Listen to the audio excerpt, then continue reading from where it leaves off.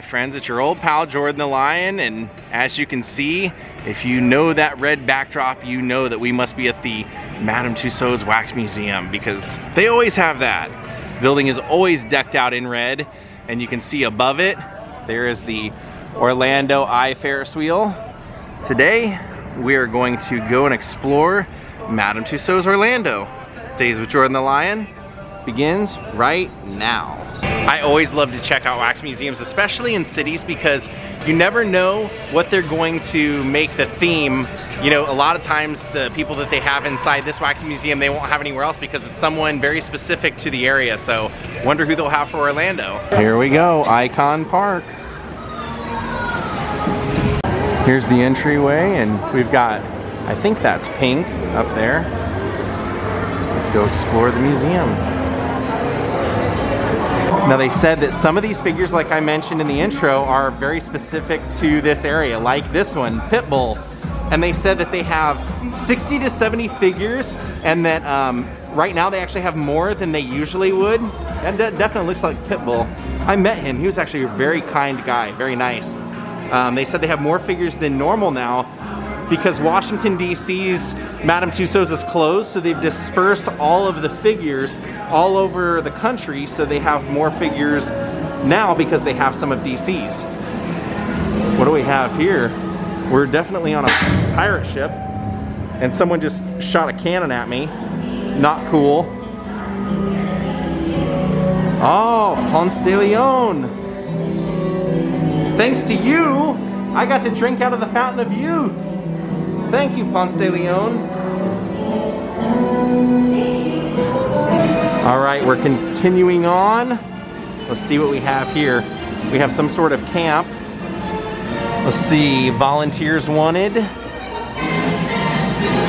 What is this all about? This is all about serve your country. Uncle Sam wants you for the army. He wants you. You don't you? And of course, they've always got the fun pick opportunity where you can stick your face through there. I want you! And then over here we have the presidents. She did say that these came from Washington, so we have Abraham Lincoln, who, that one definitely is a very, very good Abraham Lincoln, in my opinion. The eyes are just uncanny. Wow. And then this one also from DC, as you might imagine, George Washington.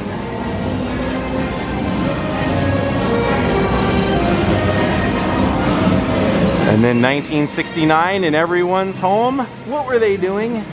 They were watching the moon landing.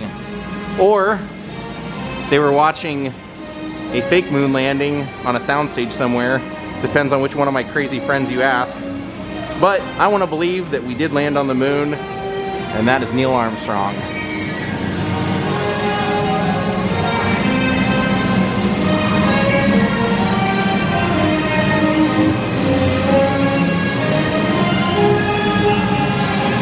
Apollo 11. Here we have the Oval Office with the last two presidents. There is Donald Trump. At the time of filming, yesterday he found out that he was not elected that tells you how far or how long ago this was. And there is President Barack Obama.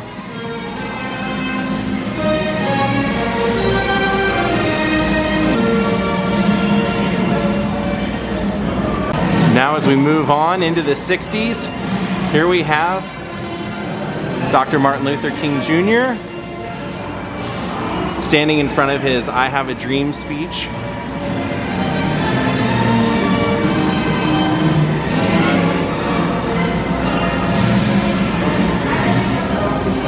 And then looking through the bookcase next to him, I see someone we're gonna see next.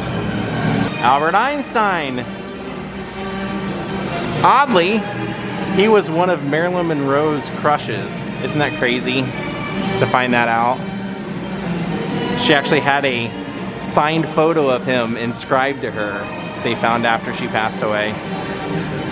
Brilliant man. And then over here we have Thomas Alva Edison holding a light bulb.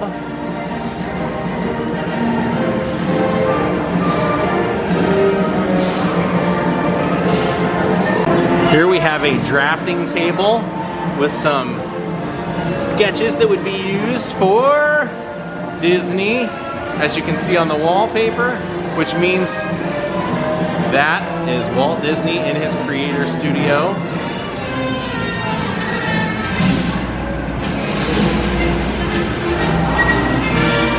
There's old Walt. And then look at what Walt sees out his window.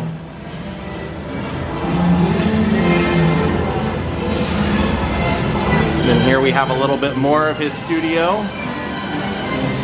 Now as we round this corner, you see pop culture icon, Andy Warhol. Known for the Campbell soup can and known for those great prints of Marilyn, Rolling Stone Sticky Fingers, the Velvet Underground album Andy Warhol that he produced. Really good setup for this figure. They even have him, you can pose with him in some boxes of Brillo pads. And then over here, we have Steve Jobs.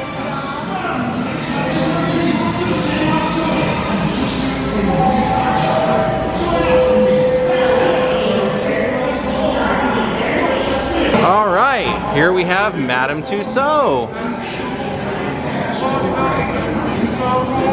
She's a very interesting person. That's one of the few times that I've ever researched someone to find out that they say most of the things that she wrote in her autobiography were not exactly truthful. So for being as much of a creative genius as she was with the wax figures, a lot of her stories and her recollections of her life were not accurate. Then over here is a studio where they're working on some of the figures. And here's a head in the process. Here we have some handprints. They've got Jackie Chan, Serena Williams, and then down here is Taylor Swift and Sofia Vergara. And then Neil Patrick Harris and Jimmy Fallon. And then much like we saw at Potter's, they did it with, uh, I think it was Schwarzenegger, the one we saw there. They show the process here where half of it has been colored, it has a little bit of hair, and it's got the eyebrows and everything, and then the other side is more of a starting phase. All right, now we're going into the sports, and I see David Beckham. Crazy that you would have a soccer player known for being a great soccer player and then you don't have him in any of his soccer attire, you have him dressed like a businessman. Whatever, I guess I get it, but I don't approve on this particular case. If you're here representing a sport, show them playing sports. Because we go over here, we got Dale Earnhardt Jr., which I, you know, I get it that he's not in a uh, car, but this is a much better setup, and it looks just like him. I mean identical, Dale Jr.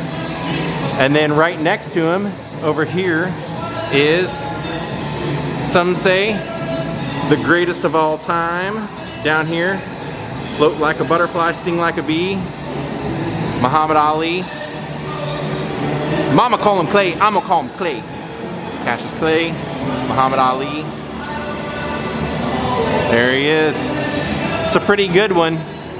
I gotta say, that is a pretty freaking good wax museum figure. Well, here we go. As we enter this section, we have Dolphin Great, Dan Marino. One of the elite quarterbacks of his day, no question about it.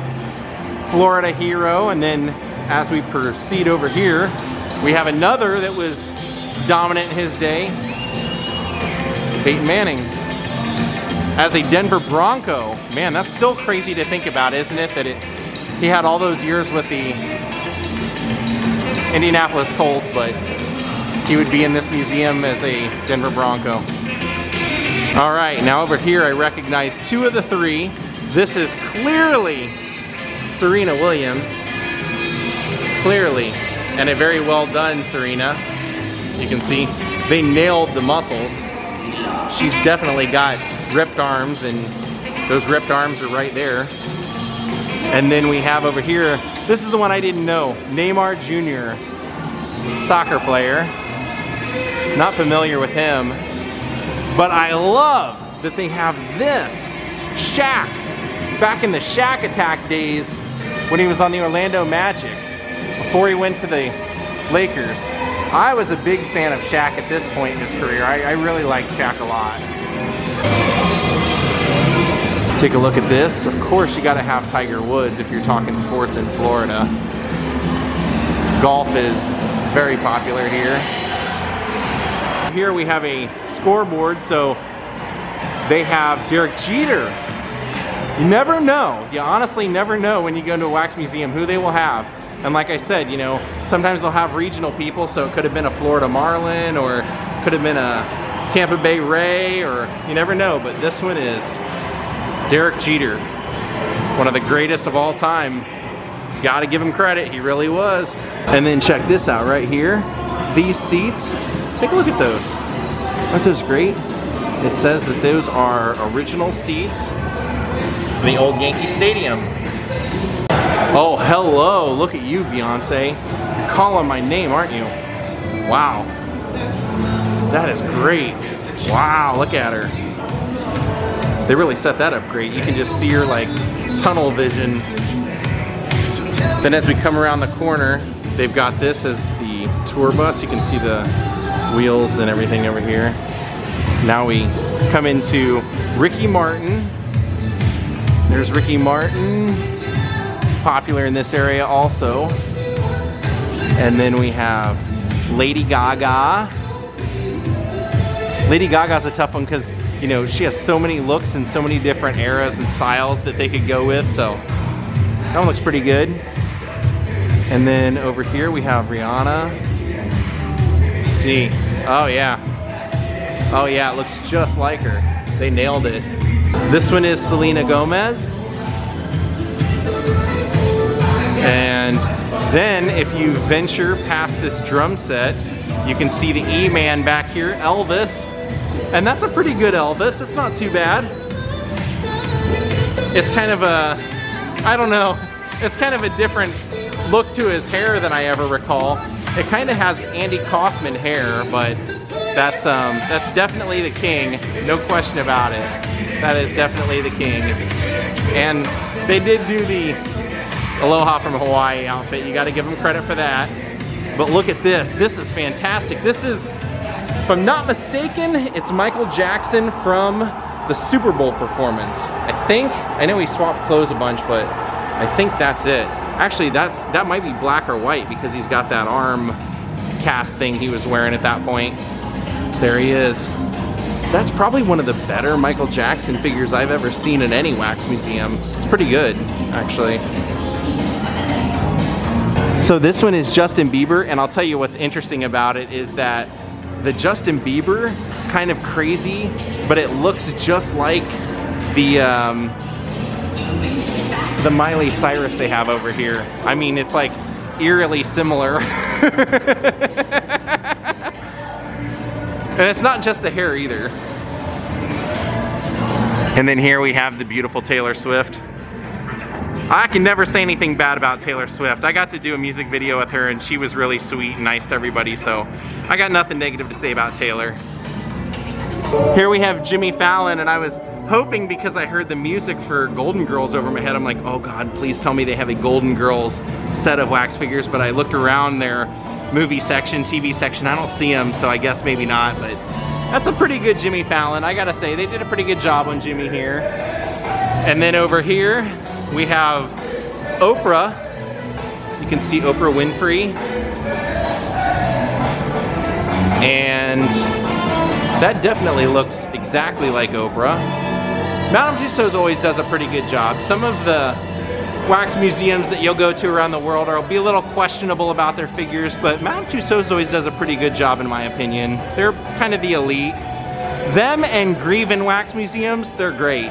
So over here we have Neil Patrick Harris, Doogie, Doogie Howser, but it says this is him being Barney Stinson. So, there you go. I'm still calling him Doogie because I know him from Doogie Howser MD. And then right over here we have Katy Perry. That's definitely Katy Perry. Always very colorful. Definitely. And then here is Sofia Vergara. And then this one over here is The Big Bang Theory's Jim Parsons. Uh, Sheldon, I believe is his character's name. That is a wax figure of Sheldon. All right, let's see what we have around the corner. I see a DC logo, so I'm guessing we're gonna have some superheroes. We're entering LexCorp. Let's see, let's see, what do we have here? What do we have here? Breaking news out of Metropolis. Uh-oh, Explosion uh-oh.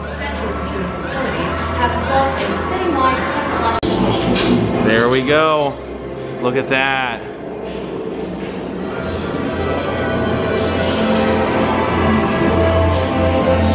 Really nice display, the flash.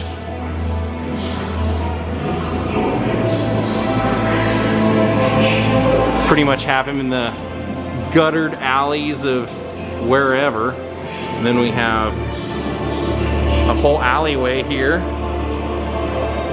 And you can see this is Wonder Woman. Not Lynda, but the newer Wonder Woman. All of these are going to be from the new movies, I would assume.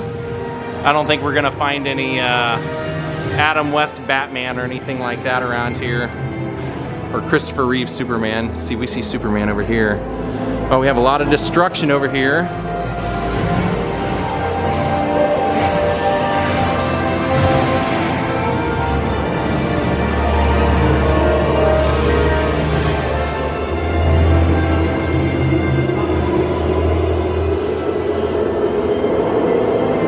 And then over here, Superman is lifting this helicopter on his own.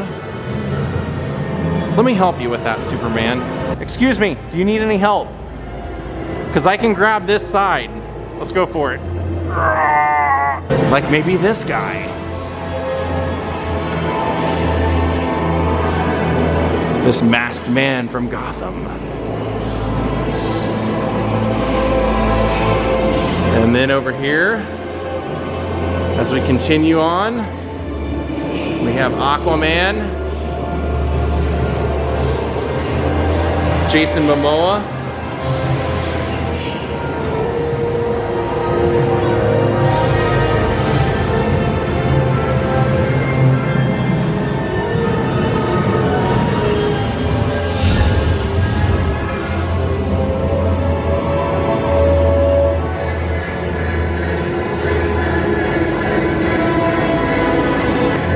right, let's move on.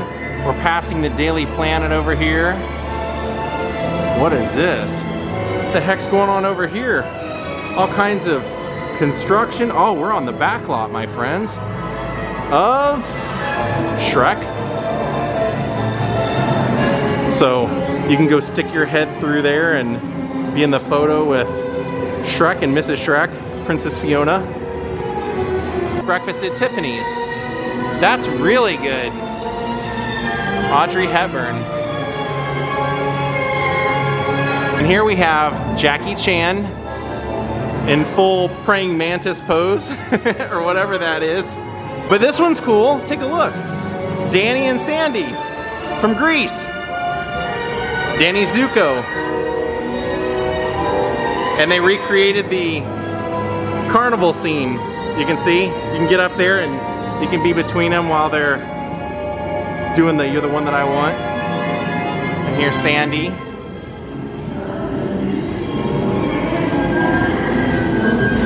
Olivia Newton-John. Over here we have Kung Fu Panda.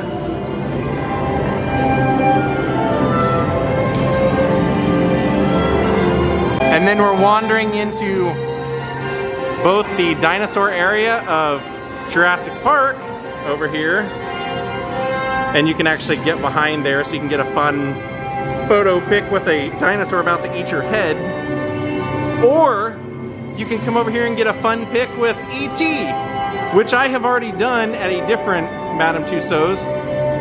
They always have the bicycle you can see back here that you can get on there and ride off into the moonlight.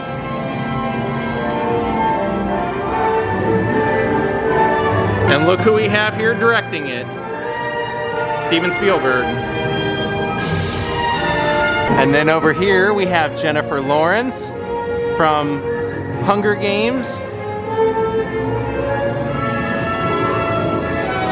They did a pretty good job on her as well. And then as we enter this room, we have Zendaya, which I think the show was called, it was either Utopia or Euphoria that she was recently in. It was really good. Not for everyone, definitely not child friendly, but it was a really great show. And then there is Jennifer Lopez, of course. Banging Jennifer Lopez. And then over here we have Channing Tatum with a uh, portion of a car. I love how they do that they'll set it up in front of some sort of prop, but you can see that the car is not a full car, it actually goes into the wall.